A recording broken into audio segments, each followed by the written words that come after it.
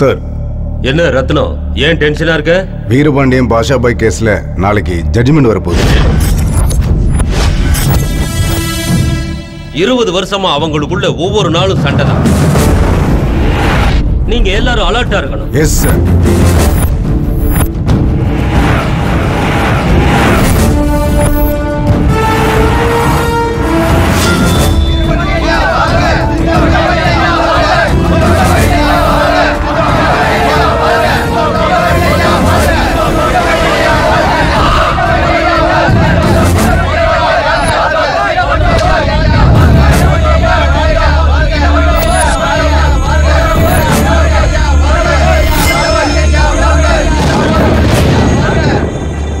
இவர் வீரபாண்டியன். இவருக்கு ரெண்டு தம்பிங்க. அண்ணனுக்காக உயிரையும் கொடுப்பாங்க தேவைப்பட்டா உயிரையும் எடுப்பாங்க. இது பாஷா பாய். இவங்க அவரோட சகோதரர்கள். வணக்கம் வீரபாண்டியன் சார். வணக்கம் பாய். இவங்க ரெண்டு பேரும் பரம எதிரிகளா மாறுறதுக்கு காரணம் ஒரே ஒரு ஆள். சரஸ்வதி. இவங்க தான் சரஸ்வதி. வீரபாண்டியனோட சகோதரி. தாயில்லா பிள்ளைய வீரபாண்டியன் தாயா இருந்து வளர்த்தாரு. நல்லா படிக்க வச்சாரு. நல்ல இடத்துல சம்பந்தம் பேசினார். ஆனா சரஸ்வதி பாஷாவை லவ் பண்ணா. தன்னோட காதல் விஷயத்தை அண்ணன் சொல்ல பயந்துக்கிட்டு ஒரு நாள் ஓடி போய் கல்யாணம் பண்ணிக்கிட்டான். இந்த விஷயம் தெரிஞ்ச வீரபாண்டியனோட அப்பா உயிரை விட்டார். அப்பா இறந்து போன வேதனை தாங்காத வீரபாண்டியன் பாஷாவோட காலை வெட்டிட்டார். காலை இழந்த கோபத்துல சரஸ்வதி எவ்வளவு சொல்லியும் கேட்காம சரஸ்வதியோட சொத்துக்காக கோர்ட்டு படியேறிட்டாரு பாஷா. இதனால ரெண்டு குடும்பங்களுக்கு மத்தியில் பெரிய பகை உருவாயிடுச்சு. இருபது வருடங்களுக்கு பின்னால கோர்ட்டு பாஷாவுக்கு சாதகமா தீர்ப்பு வழங்கிடுச்சு. வெற்றி! நாம ஜெயிச்சிட்டோம்!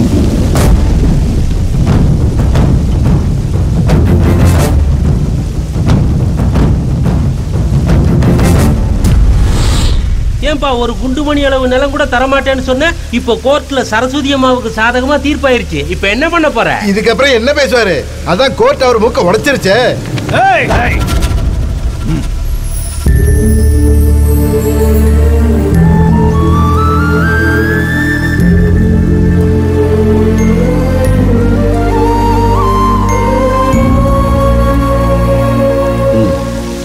சார் இன்னையோட இவங்க ரெண்டு பேருக்கு மத்தியில் இந்த பிரச்சனை தீர்ந்தது சார். அப்படி ஒன்றும் இந்த பிரச்சனை தீர்ந்த மாதிரி எனக்கு தெரியல. மறுபடியும் முளைச்சிருக்கு. ஆனா அதை அந்த ஆண்டவன் வந்து தான் தீர்த்து வைக்கணும். ஸ்ரீ ரமா சங்கீத சத்யநாராயண சுவாமிக்கு. டேய் நீங்க என்னடா இந்த பக்கம்? அட எங்களை விடு. ஆ. காலேஜுக்கு வராம பூஜை ரூம்லயே கிடக்குறீங்க. எதுக்குடா? எங்க அப்பா எம்எல்ஏட பொண்ணு கல்யாணத்துக்கு போயிட்டு என்ன இங்க பூஜைக்கு அனுப்பிட்டாருடா. நீங்க மணி ஆட்டிட்டே இரு. அங்க சுலைமான் உன் லவர அவ லவர் மாதிரி பப்பு கூட்டு போய் கும்மி அடிச்சிட்டு இருக்கான் டேய் சுலைமான்! டேய் மூஞ்சி ஜெல பேத்துருவேன் நான் லவ் பண்றேன்னு தெரிஞ்சு அப்புறம் நான் நீ பப்பு கூட்டிட்டு போயிருக்கேன் ஐயோஸ் லவா ஏய் நான் உன் லவரா பைத்தியக்கார மாதிரி பேசாத. அப்படி பேசாத அப்புறம் என் ஹார்ட் வெடிச்சிடும். இப்படி சீன் போட்டு அவ லவ் பண்றவளா? டேய் என் லவ்வ கிண்டல் பண்ணீங்கன்னா கொன்றுவேன். கொன்னுடுவியா? நீ அடிச்சா வாங்கிக்கிறதுக்கு நான் உன வளையல் போட்ட அஜாக் இல்ல தம்பி டேய் என்னாச்சுடா? ஐயோ ஓகே அப்ப சுமாரா அவனுக்கு ஒரு டிராமா காட்டலாம். ஐயோ அடிபட்டுச்சு blood blood police police police கூப்பிடுங்க. இல்ல ஆம்புலன்ஸ் கூப்பிடுங்க. டேய், பேசிட்டு இருக்கும்போது ஏன்டா அவனை அடிச்ச? டேய், நானே ஆல்ரெடி டென்ஷனா இருக்கேன். முதல்ல இங்க எஸ்கேப் வா, ஓடு, ஓடு, வா, வா, ஓடு. போலீஸ் அவனுக்கு தப்பிச்சு போறானுங்க. வா நம்ம ஹாஸ்பிடல் தூக்கிட்டு போலாம். ஹாஸ்பிடல்ல வேணா ஒண்ணு வேணாம். அவனுக்கு போலீஸ்னா இது. அதனால தான் ஒரு சின்ன சீன் போட்டோம் அந்த வீரபாண்டியனுடைய கேஸை ஜெயிச்சதுல ரொம்ப சந்தோஷமா இருக்கு. இந்த சந்தோஷமான சமயத்துல உங்க எல்லாருக்கும் என்ன வேணும் கேளுங்க. எனக்கு பெரிய. நெக்லஸ் வேணும். உனக்கு என்ன வேணும் சரினா? நான் தனியா ஹனிமூனுக்கு போகணும். ஹனிமூனுக்கு பொண்டாடி போன பத்தது. புருஷனும் வரணும். ஹாய் அப்பா. ஹாய் அம்மா. என்ன எல்லாரும் ரொம்ப குஷியா இருக்கீங்க போல இருக்கு? வாப்பா சுலைமான் நாம கேஸ்ல ஜெயிச்சிட்டோம். இன்னைக்கு நீ என்ன கேட்டாலும் உங்க அப்பா கொடுப்பாரு. கேளு. கேக்குறேன். எனக்கு வேண்டியது அம்மாக்கு வேண்டியது ரெண்டும் சேர்த்து அம்மாவே கேட்பாங்க. அம்மா என்ன வேணும்னு சொல்லுங்க? அப்பா இல்லைன்னு சொல்ல மாட்டார். என்ன வேணும்? கேளு சரஸ்வதி.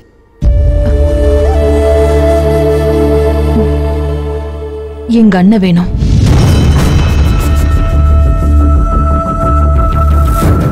இந்த சண்டையெல்லாம் மறந்துட்டு எல்லாரும் சந்தோஷமா இருக்கணும். என் தம்பியோட காலை வெட்டின அந்த வீரபாண்டிய குடும்பத்தை இனி எந்த ஜென்மத்திலையும் சேர்த்துக்க மாட்டோம். ஆமா. இந்த விஷயத்துல எங்க எல்லாரோட முடிவு இதுதான்.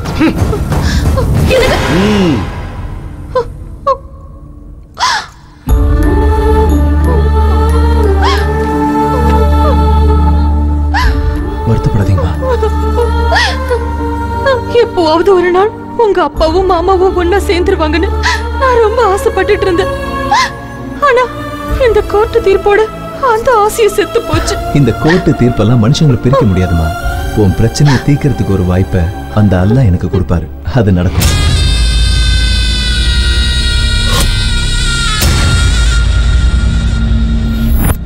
ஏய் யார் இடத்துல வந்து என்ன பண்ணிட்டு இருக்கிற? இங்க வா. சர்வே பண்ண சொல்லி வீரபாண்டியன் சார் எங்களுக்கு மனு கொடுத்திருக்காரு சார்? அந்த வீரபாண்டியன் சொல்றதெல்லாம் நீங்க செய்வீங்க. அப்புறம்? அவன் இந்த ஊருக்கே கடவுள் ஆயிடுவான் அப்புறம் நாங்க என்ன? நீங்க ஒரு கவர்மெண்ட் ஆபீசர் மேல கை வைக்கிறீங்க. கை வச்சது தப்புடா.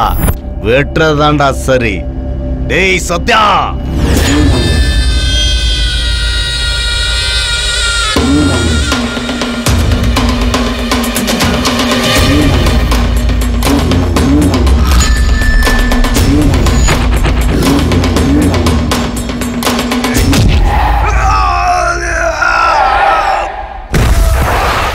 வந்துட்டாரு. உன் ஹஸ்பண்ட்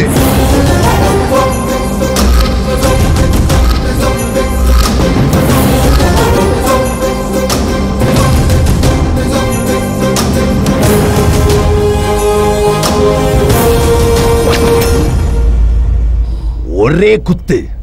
உடம்புல உசுறு இருக்கான்னு தெரியறதுக்கு இருபத்தி நாலு மணி நேரம் ஆகும். கால்வாய் விஷயத்துல தலையிடாது.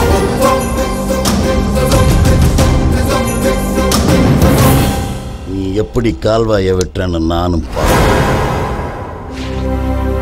ஊருக்குள்ள கால்வா வர விடாம அந்த சங்கரபாண்டி தடுத்துட்டு இருக்கான் கோர்ட்லயும் தோத்துட்டோம். எதுக்கு இப்படி எல்லாம் நடக்குது? நீங்க எதுவும் கவலைப்படாதீங்க சார். நம்ம ஹைகோர்ட்ல அப்ளை பண்ணலாம். அவசியமே இல்லை. இருபது வருஷமா நாமதா ஜெயிப்போ நாமதா ஜெயிப்போன்னு சொன்னீங்களே இப்ப ஏதாச்சு அந்த பாஷா ஜெயிச்சா நாமெல்லாம் தலை குடிச்சு வந்து நிக்கிறோம். வெளில போங்க. டேய் வெளில போ. நீங்க முதல்ல கிளம்புங்க. ஐயா. ம்.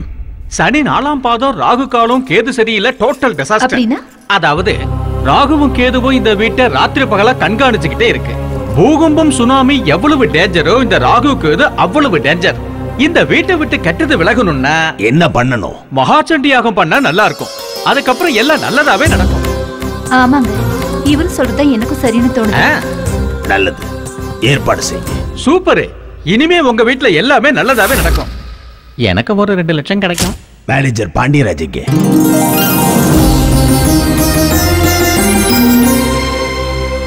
ஆஹா. விக்ரமாதித்த மகாராஜா என்ன பொறுத்த வரைக்கும் நீங்க தான் விக்ரமாதித்த மகாராஜா. நீங்க நடிச்ச படத்தை நான் எத்தனை தடவை பார்த்திருப்பேன். நீங்க ஸ்கிரீன்ல என்டர் ஆன உடனே கையில இருக்கிற படத்தை எடுத்து எவ்வளவு நான் வீசி இருப்பேன் டேய் சார். பாத்தியாடா விக்ரமாதித்த மகாராஜா டிவியே இந்த டிவி கிருஷ்ணராஜ் சார் தான். அப்ப உங்களது இல்லையா? டிவினா LG TV Samsung TV Onida TV மட்டும் இல்லடா. டிவின்னா தீரம் வீரம் எல்லாம் நிறைஞ்ச எங்க விக்ரமாதித்த மகாராஜா மாதிரி இருக்கணும்டா. யோ பாண்டியராஜ் பெரிய அவனை கூப்பிடுறாரு. ஐயா கூப்பிட்டீங்களா ஐயா? பாண்டியராஜ் யாகம் நடத்தினா வீட்டுக்கும் வீட்டுல இருக்கவங்களுக்கு நல்லதுன்னு நம்ம புரோகிதர் சொல்றாரு. நீங்க என்ன சொல்றீங்க? மந்திர தந்திரம் தெரியாத மாங்கா சரி யாகம் யார் நடத்த போறா? நான் தான் நடத்த போறேன். நீ குறுக்க வராம இருந்தா போதும். நாங்க குறுக்க வராம இருந்துட்டு இவர் அப்படியே குதிரை ஓட்டிட்டு போயிடுவார் பாரு. பாண்டியராஜ் நீ என்ன அவமானப்படுத்துற. சரி. எத்தனையோ யாகங்களை நான் கிட்ட இருந்து பாத்தீங்களா? இவர் சொல்றதுல இருந்தே தெரியுது இவர் இன்னைக்கு வரைக்கும் யாகமே பண்ணது இல்லைன்னு ஐயா யாகம் பண்ணணும்னா சாஸ்திரமும் மந்திரமும் தெரிஞ்ச நல்ல பண்டிதர் வேணுங்க. அப்படி யாராவது இருக்காங்களா? இருக்காங்கங்க. நம்ம குடும்ப நன்மையை மனசுல வச்சு நல்ல மந்திரம் சொல்லி யாகம் பண்ணக்கூடியவங்கள நானே தேடி பிடிச்சு கூட்டு வரேங்க. இருட்டு கமனாட்டி நல்லது. யாக பொறுப்பு உங்களுடைய ஆகட்டுங்க. எனக்கு கிடைக்க வேண்டிய பணத்தை கிடைக்காம செஞ்சுட்டல குட்டத்தை யார் அது? ஹலோ நான் வீரபாண்டி ஐயாவுடைய மேனேஜர் பேசுறேங்க. என் பேர் பாண்டியராஜன். நீங்க யாரா இருந்தா எனக்கு என்ன? மேட்ரை முதல்ல சொல்லுங்க. அது வந்து ஒண்ணும் இல்லைங்க. எங்க ஐயா வீட்டுல ஒரு யாகம் வளர்க்கணும். ஐயையோ. நான் இப்ப நேபாளத்துல இருக்கேன்.